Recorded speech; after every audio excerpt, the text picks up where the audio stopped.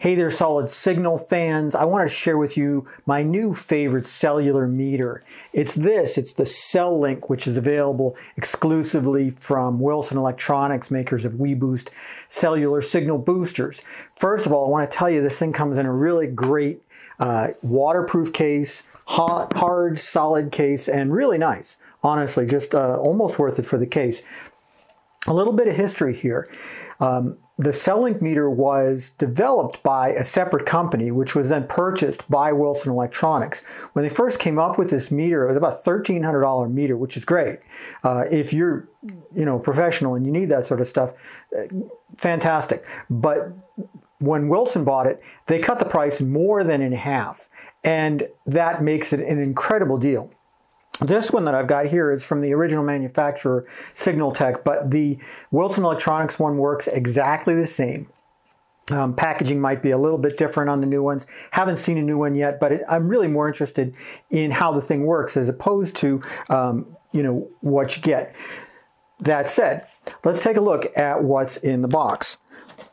You open up this nice waterproof case and you get a bunch of things here. First of all, you get this card which kind of tells you exactly what to do and where to go and, and what to be. And it's two-sided. It gives you pretty much all the instruction you're going to need for, for running this thing. You get the meter itself, which does not look like any other meter that you're ever going to see. Uh, it's just basically a black monolith that has an antenna connection and a USB plug on the top. Um, you do get a paddle antenna um, to connect to it, although you can connect to it uh, you can connect to pretty much any cellular antenna out there. Like other cell signal meters, I would not recommend connecting this to the output of a cellular signal booster. It might work or it might just fry things. So I just wouldn't do it. But you get a ton of adapters here. Um, first of all, you, you get a, an N connector barrel, so you can connect to you know whatever you need if there's a, a gender issue there. Um, you get an N to an SMA, so pretty much any any antenna with an N connector is going to work for this because there's an SMA connector on the meter itself. Um, you get an N to an F, so if you're working with 75 ohm system, you get that. You get an F to an N, so in other words, there's a, a female to male and a male to female. Um, so again, no matter what you've got, it, it still works. And finally, you get um, an SMA to N, which I'm not quite sure, honestly, when you would use that, but hey, um, always nice to have.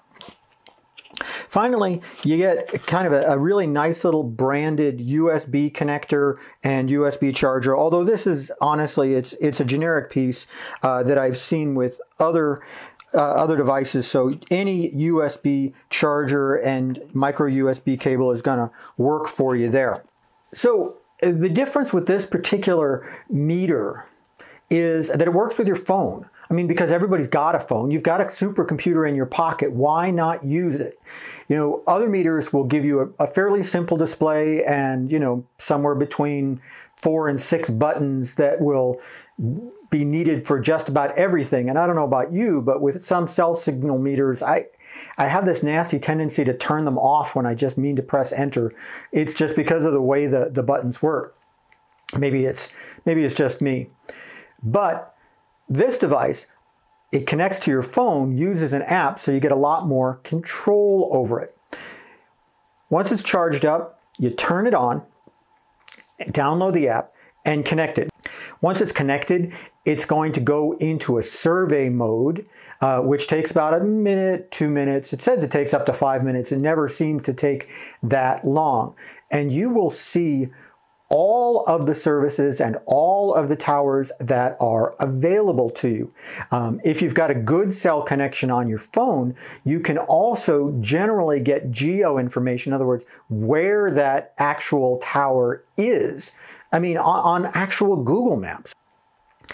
You can sort things by carrier.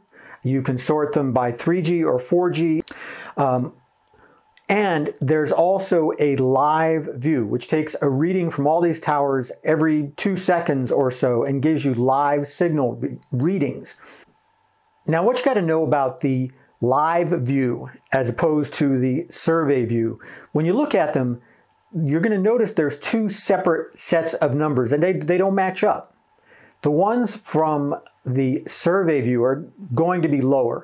In this neighborhood, they're in the negative 100 to negative 110 range. Um, but if you look at the live view, they're more at the you know 85, 90 range, negative 85, negative 90. And I worked with the folks over at Wilson Electronics to find out why that is. Now, the live view numbers sync up more or less with what I see from other cell signal meters. And the survey view syncs up more or less with what I found in the iPhone's test mode, which is a pretty useless thing, but there's a whole blog about that. I don't really want to talk about that. Um, and I found out why.